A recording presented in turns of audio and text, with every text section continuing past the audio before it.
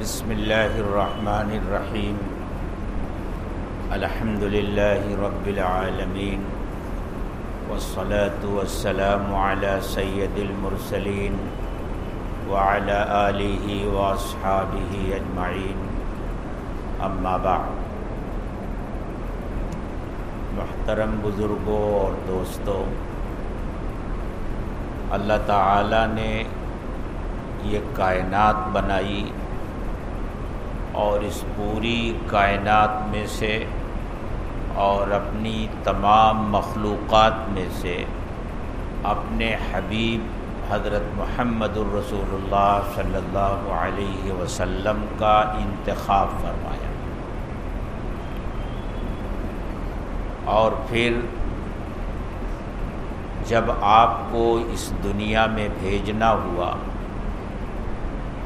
तो इस दुनिया में आपके लिए अल्लाह ताला ने हर चीज़ का इंतखब फरमाया। आपको दुनिया के किस ख़त्े और इलाक़े में भेजना है, उस ख़त्े और इलाक़े का इंतखब फरमाया। किस ख़ानदान में भेजना है, किस कबीले में भेजना है उस कबीले और उस ख़ानदान का इंतखब फरमाया। फिर आपको आसमानी किताबों में से कौन सी किताब देनी है, उस किताब का इंतखब फरमाया।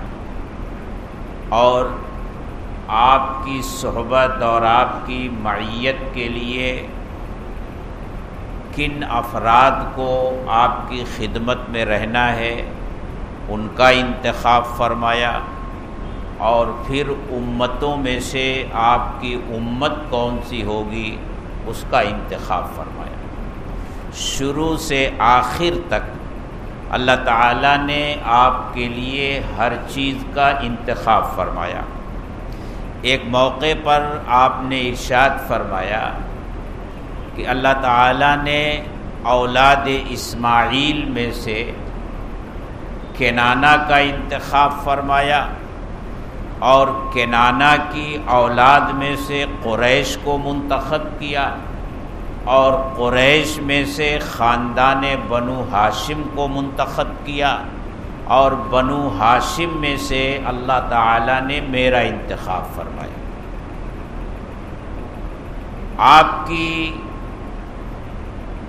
विलादत के लिए जिस शहर का इंतखब फरमाया, वो बलद अमीन मक्तुलमकरमा है। हिजरत के लिए जिस शहर का इंतखब फरमाया, वो मदीना मुनवरा है। इसी तरह आपकी सहबत और मैत के लिए जिन अफराद का इंतखब फरमाया वह हज़रत सहाब कराम रिदवानल्ला तजमैन हैं। और आसमानी किताबों में से जिस किताब का इंतखब फरमाया, वो कुरान करीम है। और उम्मतों में से जिस उम्मत का इंतखब फरमाया, वो ये उम्मत है। और अल्लाह ताला ने हमारे ऊपर ये बड़ा फ़ल और इनाम फरमाया कि इसी उम्मत के अफराद ने हमें शामिल फरमाया। सहाबा को अल्लाह ने मुंतखब किया था आपकी सहबत और मैत के लिए। एक हदीस में आपने फरमाया, अल्लाह ने मेरा इंतखब फरमाया और मेरे लिए मेरे सहाबा का इंतखब फरमाया। सहाबा की जमात पर जब गौर किया जाता है तो ऐसा महसूस होता है कि आपके मक्का में पैदा होने से पहले अल्लाह ताला ने पूरी दुनिया से वो सईद रूहें, वो अफराद मक्का में लाकर जमा कर दिए थे और मदीने के अंदर जिन्हें अंसार का शर्फ हासिल होना था और हिजरत के बाद आपको मदीना आना था वहाँ उनको जमा कर दिया था। मैंने इससे पहले भी आपको बताया है कि मदीने के अंदर जो दो कबीले और दो ख़ानदान, औस और खजरज के थे, ये दरअसल यमन के रहने वाले थे। यमन में एक वाक़ पेश आया था कि वहाँ एक डैम तामीर किया गया था। और उस डैम की वजह से वहाँ बड़ी खुशहाली और फारगुलबाली थी। लेकिन जब लोगों ने नाफरमानी की तो वही डैम उनकी तबाही का दरिया बना, उसकी दीवारें टूटी और उसी पानी के बहाव में पूरा शहर तबाह हो गया।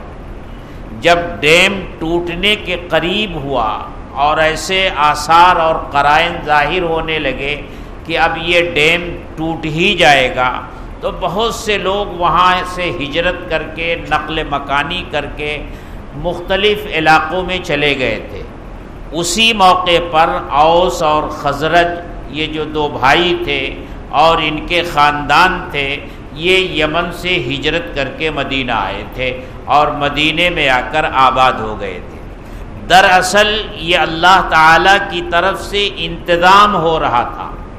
कि यमन से इनको मुंतकिल करके मदीना लाया जा रहा था कि एक दिन वो आएगा जब मेरा महबूब हिजरत करके मदीना आएगा तो इन हजरात को उनकी मदद करने की सआदत मिलेगी। तो अंसार को मदीने में जमा किया। और महाजरीन साहबा जो हैं, अगर आप गौर करेंगे तो कैसे कैसे लोग कहाँ कहाँ के लोग आकर मदीने में जमा हो गए थे? उसी सिलसिले में हज़रत सलमान फ़ारसी रदी अल्लाह तहों का वाक़ है। अगर आप उस वाक़े को पढ़ेंगे और सुनेंगे तो आपको यकीन हो जाएगा कि ये मशीयत इलाही थी जो उन्हें ईरान से खींच कर मदीना लाई थी। बड़ा अजीब व गरीब है उनके इस्लाम लाने का वाक़ ये ईरान के रहने वाले थे। मजूसी मज़हब के पैरोकार थे आतिश परस्त थे। इनका बाप बहुत बड़ा अपने मज़हब का आदमी था और बहुत बड़ा जागीरदार भी था। उसने हज़रत सलमान फ़ारसी रदी अल्लाह तहु की परवरिश बिल्कुल बेटियों जैसी की थी। यानी इनको घर से निकलने ही नहीं देता था।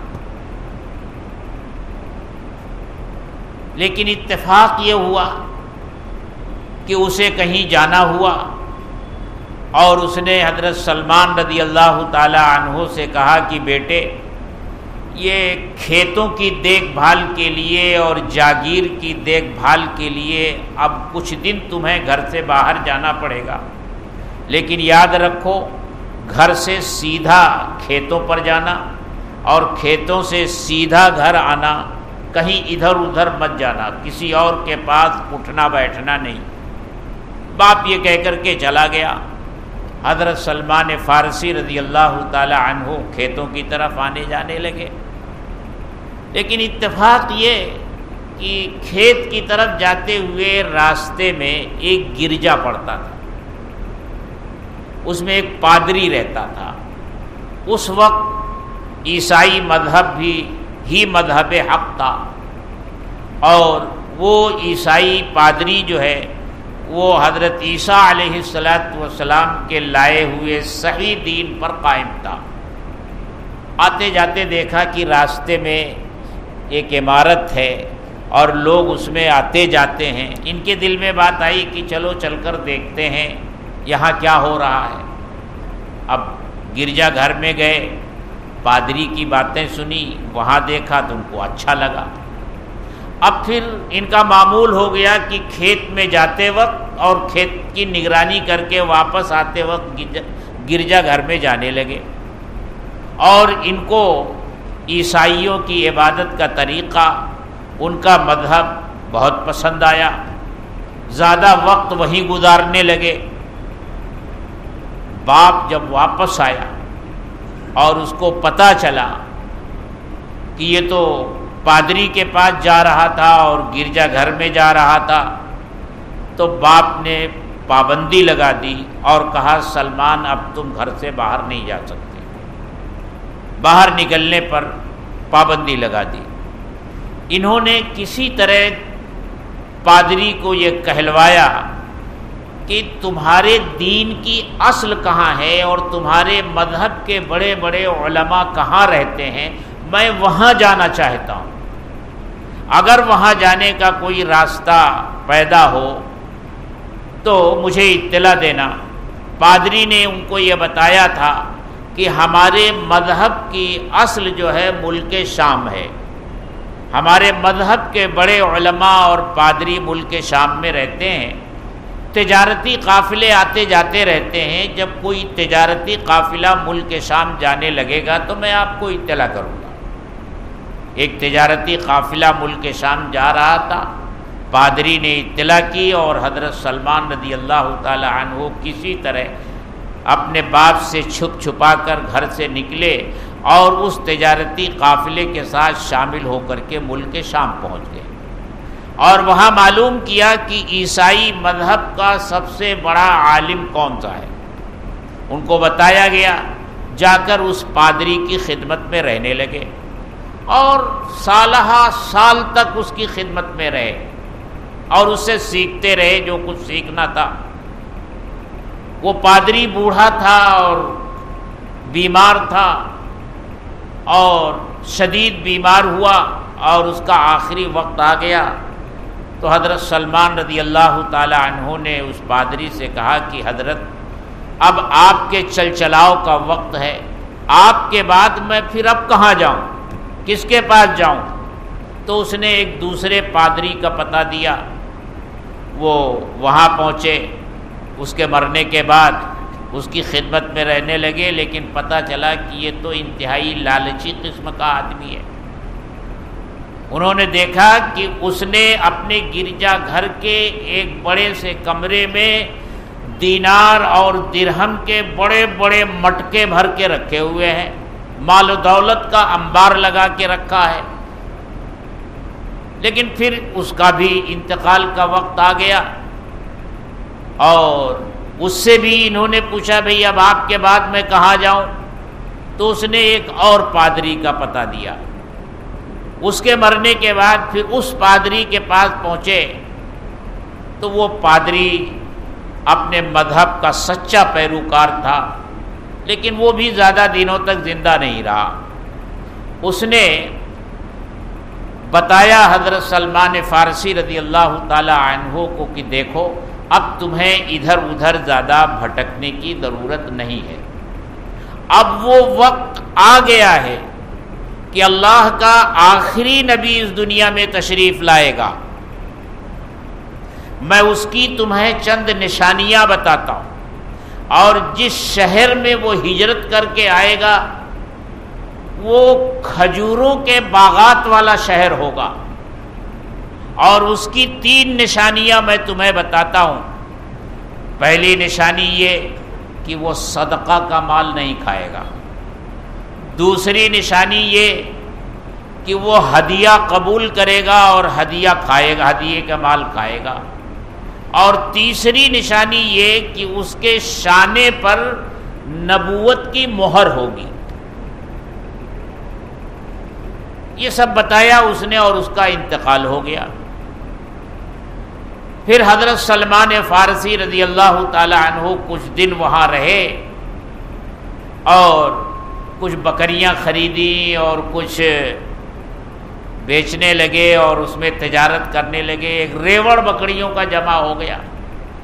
उसी दौरान खैबर के यहूदियों का एक तजारती काफिला वहाँ पहुँचा और जब इन्हें पता चला कि खैबर में खजूरों के बागात हैं तो अब इनके दिल में बात आई, शायद वही शहर हो जिसमें नबी आखिरुज़मा हज़रत मोहम्मद सल्लल्लाहु अलैहि वसल्लम हिजरत करके तशरीफ़ लाएँ। फिर उस तजारती काफ़िले वालों के साथ इन्होंने बड़ी उनकी मन्नत समाजत की कि मेरा सारा माल ले लो, लेकिन मुझे अपने साथ ले चलो। वो रजामंद हो गए और सिर्फ़ रजामंद ही नहीं हुए, वो यहूदी क्या जो धोखा न दे। इनका माल भी ले लिया और फिर इनको गुलाम बना लिया और ले जा करके खैबर में बेच दिया।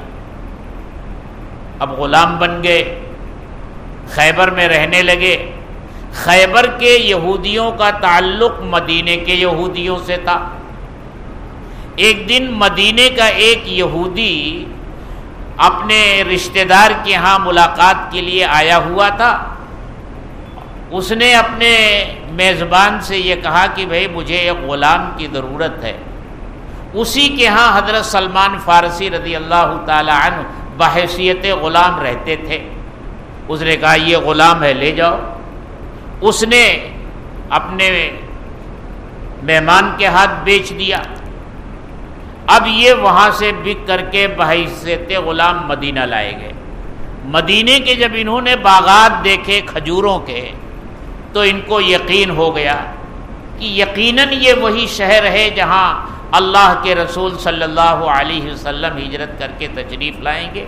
फिर बाग में काम करने लगे, उस यहूदी आका ने बाग में लगा दिया। ज़माने तक वहाँ काम करते रहे। बड़ी लंबी उम्र पाई थी हज़रत सलमान फ़ारसी रदी अल्लाह तुहदसिन ने जिस पर अपना रुझान ज़ाहिर किया है, वो ढाई सौ साल की उम्र बताई कि ढाई सौ साल की उम्र पाई हज़रत सलमान फारसी रज़ी अल्लाह तु ने। बिकते बिकाते और ये ढाई सौ साल का सफ़र करते हुए ये मदीना पहुँचे हैं। वो वक्त आ गया कि अल्लाह के रसूल सल्लल्लाहु अलैहि वसल्लम हिजरत करके मदीना तशरीफ़ लाए। पहले आप कोबा में रुके और वहाँ के चंद रोज़ा क़याम के बाद फिर मदीना तशरीफ़ लाए। पूरे मदीने में हलचल मच गई। फरमाते हैं कि एक दिन मेरा आका यहूदी अपने बाग में बैठा हुआ था और मुझे काम पर लगा दिया था। मैं खजूर के दरख्त पर चढ़कर खजूरें तोड़ रहा था। उसका एक मिलने वाला आया और उससे कहा, अरे फला तुमने नहीं सुना? एक शख्स मक्का से आया है जो कहता है कि मैं अल्लाह का नबी हूँ। और औस और खजरत के लोग उसका इस्तकबाल करने के लिए कोबा की तरफ़ जा रहे हैं। फरमाते हैं, जब ये आवाज़ मेरे कान में पड़ी तो मेरा हाल तो ऐसा हो गया कि लगता था मैं दरख्त से गिर जाऊँगा। लेकिन किसी तरह मैं दरख्त से नीचे उतरा और फिर बेताब होकर के उन दोनों के पास पहुँचा और कहा, आपने क्या खबर दी थी? कौन आया? कहाँ से आया? मेरे आका को ये बात बहुत बुरी लगी और उसने खींच कर एक थप्पड़ मेरे चेहरे पर मारा और कहा, गुलाम होकर के तू तू हमारी गुफ्तगु सुनता है। चल अपना काम कर। फिर मैं दरख्त पर चढ़ गया। शाम तक मैं काम करता रहा और आपसे मुलाकात के लिए मैं बेचैन होता रहा। फिर आप कोबा से मदीना तशरीफ़ लाए। तो मैंने सोचा कि यहूदी ईसाई पादरी ने जो निशानियाँ बताई थी, कम अज़ कम उनको आजमाना चाहिए।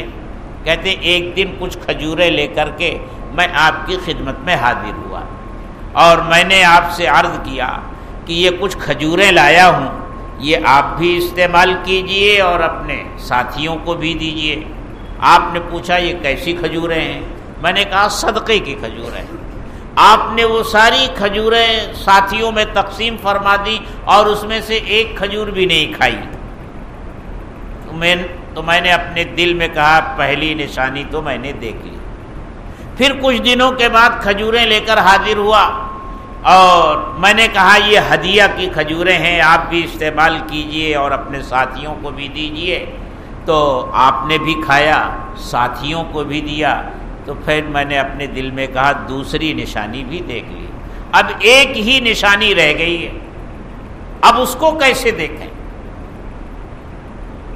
अल्लाह के रसूल सल्लल्लाहु अलैहि वसल्लम जन्नतुल बकी में किसी जनाजे में शिरकत के लिए तशरीफ़ ले गए थे, आपने चादर ओढ़ रखी थी, ये भी साथ साथ गए हुए थे, और कभी आपके आगे, कभी दाएँ, कभी बाएँ, कभी पीछे, इस तरह से हो रहे थे। अल्लाह के रसूल सल्लल्लाहु अलैहि वसल्लम समझ गए, आपने चादर अपने शाने से हटाई है बाई तरफ़ से और फिर हज़रत सलमान फ़ारसी रज़ी अल्लाह तहों ने मोहर नबूत देखी और उसको बोसा दिया और कहा, अशहद अल्लाह व अशहद अन्न महमद अब्दू व रसूल आप इससे अंदाज़ा लगाइए कि ईरान से निकले, कहाँ कहाँ से होते हुए और बिकते हुए और फिर मदीना पहुँचे हैं। ये मशीयत इलाही थी। ये इराद खुदाबंदी था जो हज़रत सलमान फ़ारसी रज़ी अल्लाह तहों को ईरान से निकाल करके मदीना लाया। हज़रत सुहेब को रूम से निकाल करके मक्का पहुँचाया। हज़रत बिलाल को हबशा से लेकर मक्का पहुँचाया। कहाँ कहाँ से लोगों को ला करके जमा किया?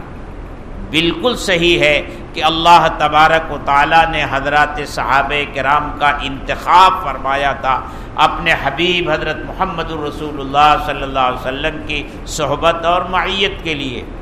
फिर हज़रत सलमान फ़ारसी रदी अल्लाह तहों से अल्लाह के रसूल सल्लल्लाहु अलैहि वसल्लम ने इशाद फरमाया, अरे भाई, तुम अपने आका से माहदे किताबत कर लो।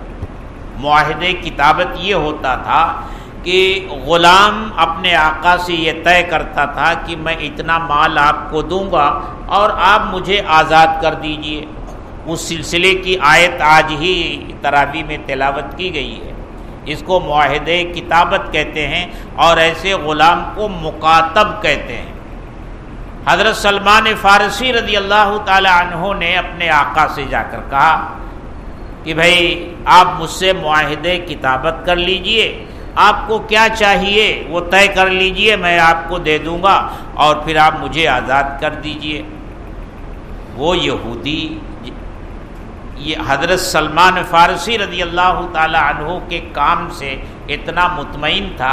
वो देख रहा था कि कई आदमियों का काम ये शख्स अकेले करता है।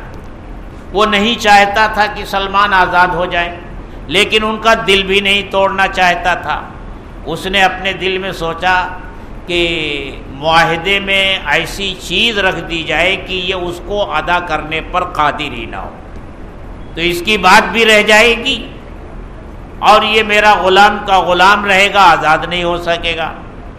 उसने कहा कि इतने ऊकिया सोना मुझको चाहिए। बड़ी मकदार सोने की उसने रखी। और कहा, तीन सौ खजूर के दरख्त तुमको लगाने। और जब उन दरख्तों पर फल आएगा, तब तुम्हें आज़ादी मिलेगी।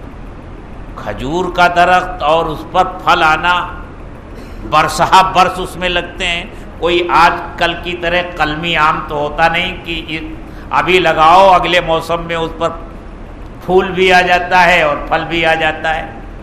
वो समझ रहा था, इसी में इसकी ज़िंदगी ख़त्म हो जाएगी। उन्होंने आकर अल्लाह के रसूल सल्लल्लाहु अलैहि वसल्लम से ये अर्द किया और बताया, उसने ये शर्तें रखी हैं। अभी उसी मजलिस में मौजूद थे कि कहीं से एक साहब आए और उन्होंने अल्लाह के रसूल सल्लल्लाहु अलैहि वसल्लम को सोने की एक डली हदिया फरमाई। अल्लाह के रसूल सल्लल्लाहु अलैहि वसल्लम ने हज़रत सलमान को दिया, कहा, ले जाओ, इसको वज़न करा करके अपने यहूदी आका को दे दो। वो जब ले करके गए तो इत्तेफाक से उस डली का वज़न उतना ही निकला जितना उसने माहदे में तय किया था। तो सोना तो दे दिया। फिर अल्लाह के रसूल सल्लल्लाहु अलैहि वसल्लम ने सहाबा से कहा, अपने भाई सलमान की खजूर के पौधों से मदद करो। इनको खजूर के पौधे दो अपने अपने बागात से। और हज़रत सलमान से फरमाया कि तुम गड्ढे को दो। जब पौधे जमा हो जाएँ और गड्ढा तैयार हो जाए तो मुझे इत्तला दो। गड्ढे तैयार हो गए, पौधे जमा हो गए। अल्लाह के रसूल सल्लल्लाहु अलैहि वसल्लम को इत्तला दी गई। आप तशरीफ़ लाए और उन पौधों को अपने दस्ते मुबारक से उन गड्ढों में रखा, जो दरख्त दसियों साल बाद फल लाते थे। एक साल नहीं पूरा हुआ कि वो दरख्त तैयार भी हो गए और उन पर फल भी आ गया। आज भी जो लोग मदीना जाते हैं, वहाँ हज़रत सलमान फ़ारसी रज़ी अल्लाह तहो के खजूरों का बाग है, उसकी ज़्यारत के लिए जाते हैं। दरख्त तो अब रह नहीं गए, लेकिन वो जगह आज भी है, लोग उसकी ज़्यारत के लिए जाते हैं। तो ये हैं हज़रत सलमान फ़ारसी रज़ी अल्लाह तहो जिनकी हदीस मैंने रमज़ानमबारक के फ़ज़ाइल के ताल्लुक़ से बयान की थी। तो इससे ये मालूम हुआ कि सहाबा अल्लाह का इंतखब थे। उन्हें अल्लाह ने अपने नबी की सहबत और मैत के लिए मंतखब फरमाया था। अल्लाह ताला हमको इसकी समझ अता फरमाए। वाखिर दावाना अल्हम्दुलिल्लाह। रब्बिलआलमीन वस्सलातु वस्सलामु अला सय्यिदिल मुरसलीन व या रहमर राहिमीन, या करमल अकरमीन, या दल जलाल वल इकराम, हमारे गुनाहों को माफ़ फरमा दीजिए, हमारी ख़ताओं से दरगुदर फरमा दीजिए। अल्लाह, ये मुबारक महीना है, तेरी रहमत तो हर दम बारिश की तरह बरसती है, लेकिन अल्लाह, खसूसियत से इस माह मुबारक में तेरी रहमत अपने बंदों से ज़्यादा ही करीब हो जाती है। तेरे नबी ने बताया है कि जब ये रमज़ानुल का महीना शुरू होता है, आसमान के दरवाज़े खुल जाते हैं, रहमत के दरवाज़े खुल जाते हैं, जन्नत के दरवाज़े खोल दिए जाते हैं और जहन्नम के दरवाज़े बंद कर दिए जाते हैं तो अपने बंदों की तौबा को कबूल फरमाता है। गुनाहों को माफ़ फरमाता है। ए अल्लाह, इस मुबारक महीने में हम सब तेरे सामने हाथ फैलाकर अपने गुनाहों की बख्शिश की भीख मांग रहे हैं। ए अल्लाह, हमें ये भीख अता फरमा दे। हमारे हाल पर रहम फरमा दे। हमारे रोज़ों को कबूल फरमा ले। हमारी तरावीह को, तिलावत को ज़िक्र अजकार को, तस्बीहात को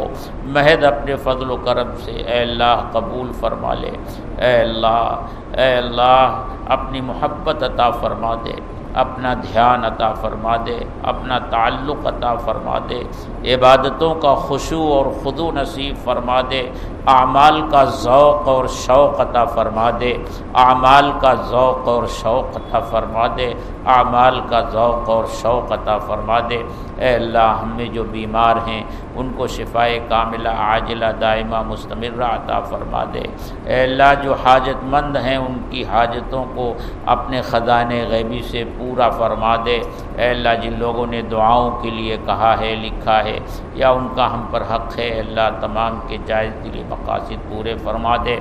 या अल्लाह, हम सब की मगफ़रत फरमा दे। और अल्लाह, जो लोग ईमान वाले इस दुनिया से जा चुके हैं, उन सब की मगफ़रत फरमा दे। ख़ास तौर से अल्लाह, हमारे वालदे या उनमें से कोई एक जो इस दुनिया से जा चुका है है अल्लाह उनकी मगफ़रत फरमा दे, उनके दर्जात बुलंद फरमा दे, उनके साथ अपनी शाया निशान रहमत का और मगफ़रत का मामला फरमा दे। और अल्लाह, हमारे वालदेन या उनमें से कोई एक अगर ज़िंदा हैं, हयात हैं तो अल्लाह, आफ़ियत के साथ उनका साया हमारे सरों पर कायम रख। उनकी खिदमत करने की तोफ़ी अता फ़रमा, उनकी दुआएँ लेने की तोफ़ी अता फ़रमा। अल्लाह उनसे हमारी जुदाई इस हाल में हो कि वो हमसे राज़ी हों। अल्लाह, उनकी रज़ा में तेरी रज़ा है। अल्लाह, उनकी रज़ा में तेरी रज़ा है। अल्लाह तो उनको हमसे राज़ी कर दे। अल्लाह, हमारे हाल पर रहम फरमा। रबना तकबल मन्ना इन्नकान तस्मीम वतुब अलैना इन्नकान तवाबुररहीम वसल्ला तैर खल्क़ी महमद वाली वासहाबी अजमाइन आमीन।